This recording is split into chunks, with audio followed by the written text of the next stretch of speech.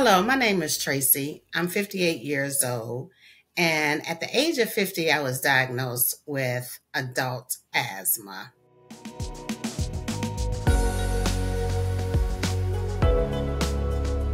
So in 2015, um, I was having difficulties breathing. And I went to the doctor, and the doctor said, um, You have bronchitis. So I had never had any issues with breathing. I had never had bronchitis. I wasn't sure, you know, why I was doing what I was doing. Now, I do have a family history of asthma. I have uh, my father, my sister, brothers, all of them had asthma. So I was familiar with the sound that I was hearing, but I had never experienced it myself. So I end up going to the hospital and they diagnosed me with asthma. And I continued to go to the hospital for over a year with different breathing issues, um, wheezing issues. So they would constantly give me prednisone, do nebulizers, and send me home. So with this going on for over a year, they said, okay, well, we've diagnosed you with adult onset of asthma.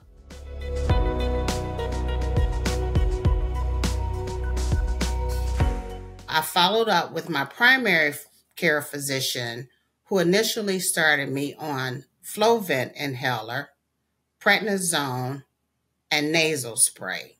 They took me off of the Flovent to Advair. And then from Advair, I was still taking the prednisone and different inhalers, and I was still having asthma attacks. And at that time, I had to go to back to the hospital again with another asthma attack that occurred when I was coming home. I left my car door open and my neighbor saw it was open because I was wheezing so bad and I was trying to get into the house. So the neighbor came over, they called 911. I end up going to the hospital um, with another asthma attack. They changed it from Advair to Advair 500 milligrams, prednisone, nebulizer treatments again. So I followed up again with my primary care physician and said, something has to be done we're going to have to figure out why I keep having these asthma attacks, what's causing it. I'm familiar with it from my family history, but why am I now having it as an adult?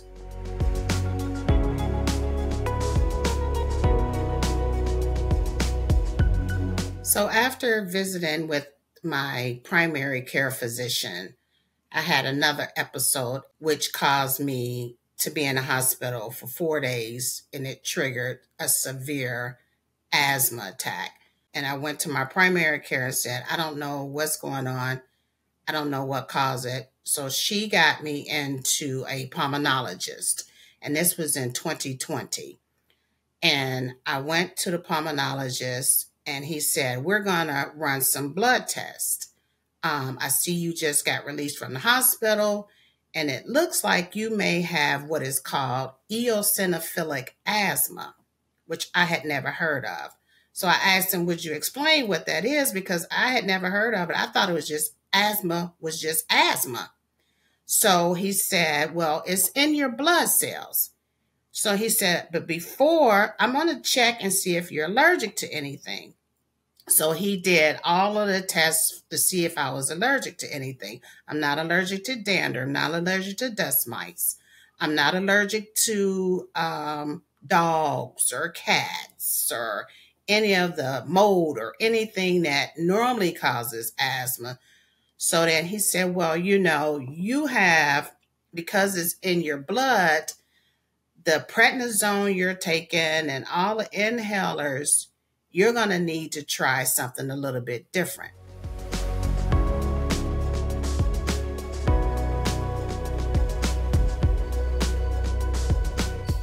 Because of the insurance, we have to go through certain steps to make sure that you qualify for a new treatment which is a biologic.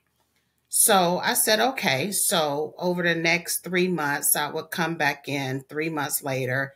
He said, uh, How many times did you have to take prednisone? I had to take prednisone, a dose for, you know, one dose in those three months. How many times did you have to use your nebulizer? How many times are you using your inhaler? So he said, let's try you on Trelegy. You take this once a day. This should help open up the airways and give you some relief.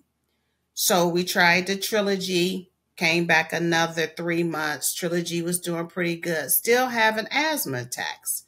So in 2021, he prescribed the biologic Nucala auto injector. So he said, Well, we're going to take you, we're going to leave you on the Trelegy, and we're going to, you know, you can have your nebulizer if you need it. So I said, Okay. So within 2021 to 2022, I had maybe two asthma attacks where I had to go to the hospital. And then this year, 2023, I haven't had to go to the hospital at all. And I haven't had to have any prednisone this year.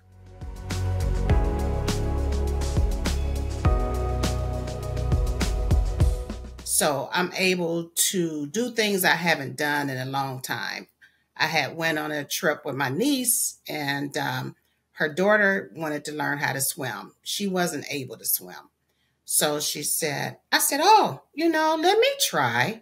Um, because I haven't been swimming in over eight years because I couldn't hold my breath and was afraid to get in the water that I would drown. So I said, Well, let me see what I can do. So I got in and I went under. I was nervous at first, you know, but she was a little girl. She wanted to learn how to swim. I was just as nervous she was.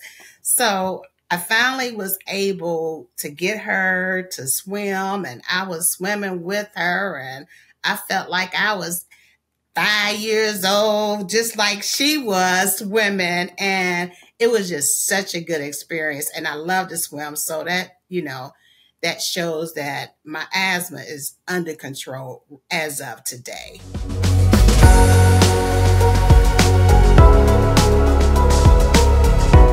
One suggestion I have for people who are experiencing asthma is not to hide the fact that you are an asthmatic person. Um, you have to advocate for yourself. You have to ask questions when you go to the doctor. If you don't feel that you're getting what you need, you have the option to choose someone else.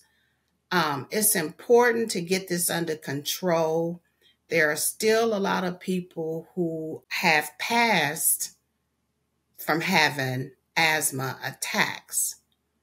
There's so many different medicines out there now that we can get this under control. I've experienced this with family members who have passed from having an asthma attack and they they didn't have the options that we have available for us. So you need to advocate for yourself, find what is best for you and what works for you to keep it under control.